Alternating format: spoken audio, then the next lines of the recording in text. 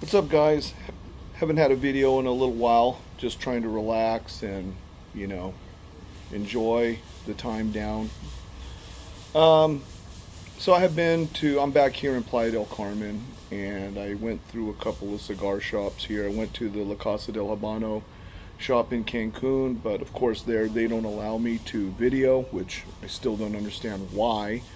Uh, I did a video recently on Casa Partagas here in Playa del Carmen, um, and the owner, very sweet lady, she uh, she really enjoys it. And thank you to all the viewers who come down to Cancun or Playa del Carmen and have stopped by Fifth Avenue to look in and support Casa Partagas. They're one of the oldest. They actually are the oldest cigar shop in this area for the past 25 to 30 years and um, you know it's greatly appreciated when you uh, mention that you found them on the YouTube channel and uh, the owner gets a she gets a nice kick out of it. So thank you guys who've come down to the Mayan Riviera.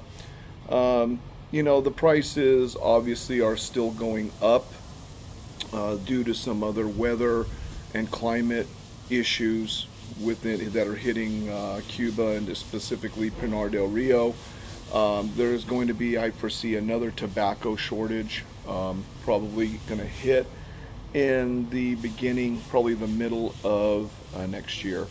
So, yes, while the, taking this all into consideration, I was thinking that, well, okay, let's maybe go out and start hunting for some cigars right now to buy and I put together just this video uh, just on some of the cigars that I've purchased and sort of the rationale behind why did I choose these cigars and also uh, based on the price points of these cigars. So let's take a look at some of the cigars and the prices and sort of the rationale of why we chose these cigars and uh, maybe hopefully it'll uh, help you with your buying and you know, try to go and not be too discouraged about the price increases in Cuban cigars because there's still a lot of great value sticks out there, guys.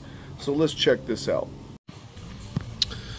So guys, here is an example of a different assortment of cigars and let, us sort of go over the prices of these cigars because I think it's important to realize that yes, everything, you know, for all the Habanos and all Cuban cigar brands have all gone up.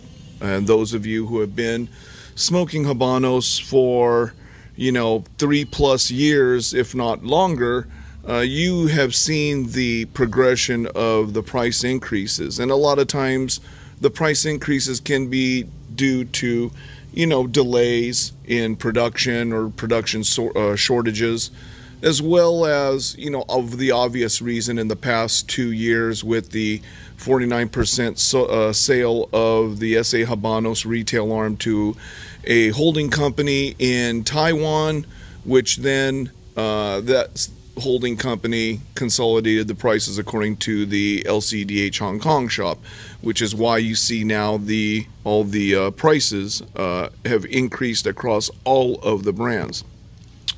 But what I wanted to do was just cover that, you know, you can still find good cigars um, when you understand the price for the cigar, the, the brand in particular, and also the flavor profile of some of the maybe some of the lesser brands or the other brands that you normally have not smoked in the past.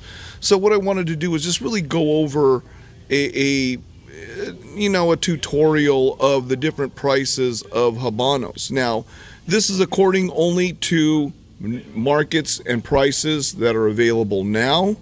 Um, you know, and the, of course, the prices vary market to market in different countries.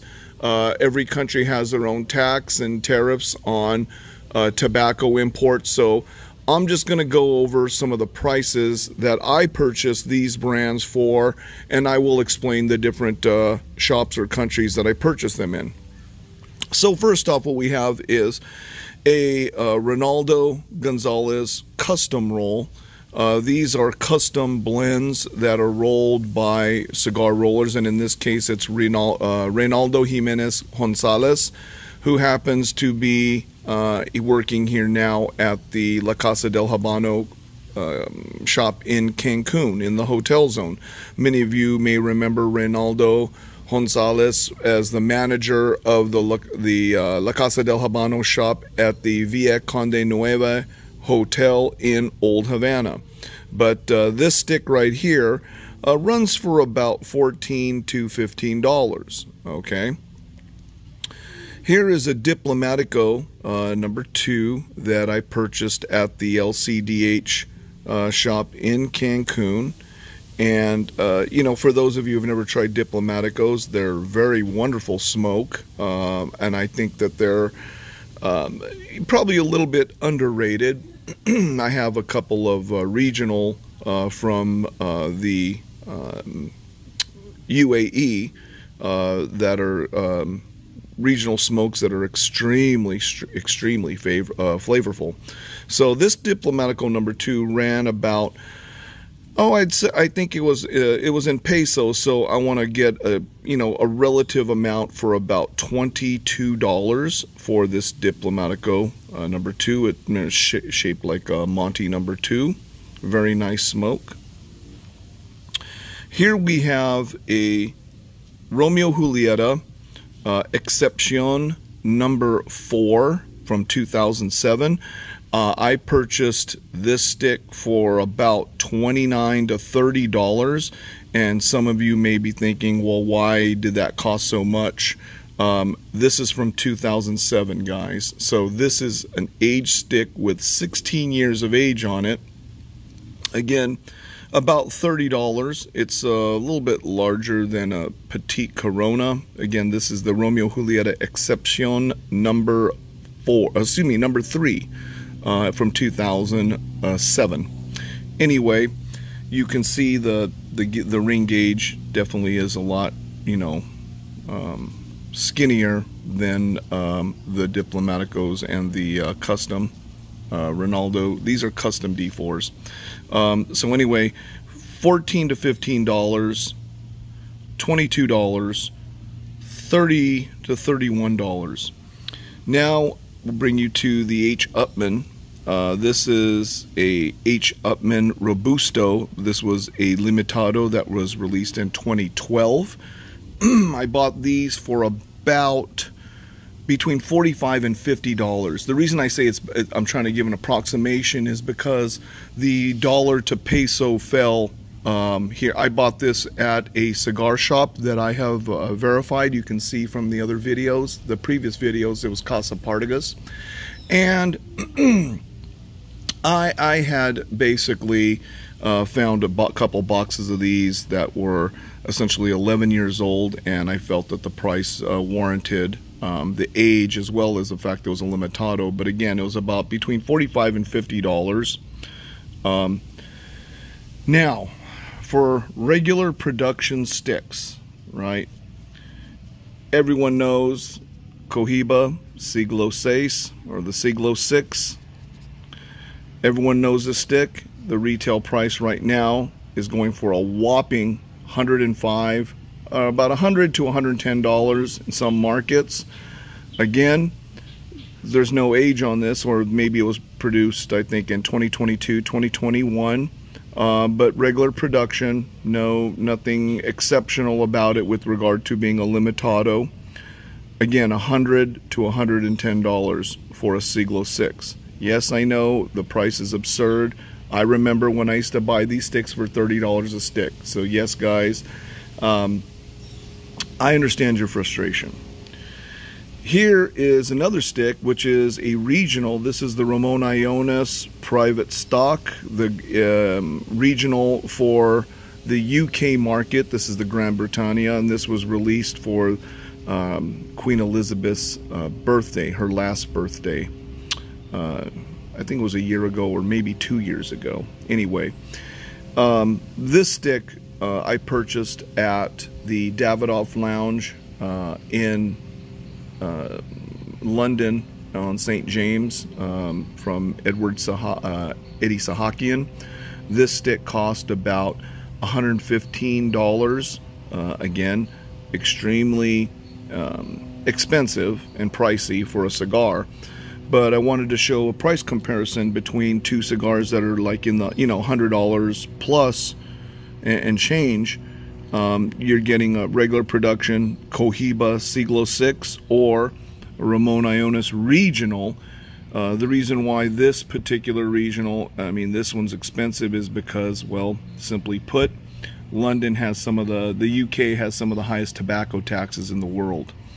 Um, so, you know, again, to recap the prices, custom rolls, these custom rolls can vary between $10 to $25 depending on the size and the Vitola ring gauge. Great flavors. You have this Diplomatico number two, which was about $22, and that's at a La Casa del Habano, one of the most expensive La Casa del Habanos in Cancun. Romeo Julieta, uh, petite Corona size, maybe a little bit bigger than a petite Corona, uh, but with 16 years of age at 30, uh, about 30 to 35 dollars, let's say.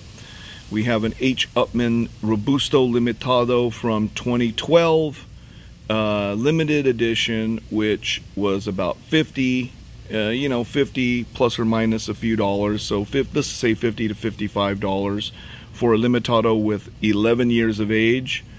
You got Cohiba Siglo 6 regular production. Um, that's going to be going for about $110 a stick. And if you can find a regional Ramon Allones private stock exclusive for the UK market, this is a country regional, so it's only available in that country. And this was also about $110, $115. Um, so again, you know, you have to gauge what it is you want to spend your money on. There is a wide assortment of cigars that you can choose from all we have to do is just really reevaluate, reassess our strategies. I like to smoke Siglo 6s, don't get me wrong. I love Siglo 6 and I love Esplendidos, but I'm not going to pay $100 a stick for a regular production cigar, no matter how big or how great it is. In the other cases, there's alternatives. I like to look for everyday sticks that are you know, within my budget and customs seem to fit that bill. I also look for some bargains with regard to some other lower tier and off brands like Diplomatico or, um, you know, some Ramon Allones, especially selected, Hoyo de Monterrey Epicure number two, or um, Especials. There's other Vitolas of Hoyo de Monterrey. Um, some people are now looking at the Vegueros, uh, which has been always been a third tier, third shelf brand, uh, getting some good value, good smoke. Uh, there's also Cuaba. Uh, th there's there's a number of sticks out there, guys, that you can find that are still within the budget. Uh, I realize that a lot of you like to smoke, as I do, Montecristo number twos, Partagas number four, uh, D4s, Partagas E2s these cigars are great, but I don't know personally for myself if the price justifies it anymore. So let's readjust our strategies. Let's still enjoy the flavor and the and the taste and the smoke of a good habano, hopefully with some age. And let's take a look and see what's out there uh, because it, you know, it's not all lost and it's not hopeless, guys. You still can find some great smokes. And so, therefore, just reevaluate your strategies, look at your price points, and then when you determine those price points, look at all the different factors that you have to choose from. It, it's not that difficult. Um, but don't let discourage, don't be discouraged or give up hope uh, just because we've seen a rise in the prices of Habanos. There are a lot of alternatives that are still viable and like I said custom rolls for me is the way to go. Until then enjoy your smokes. Remember smoke them if you got them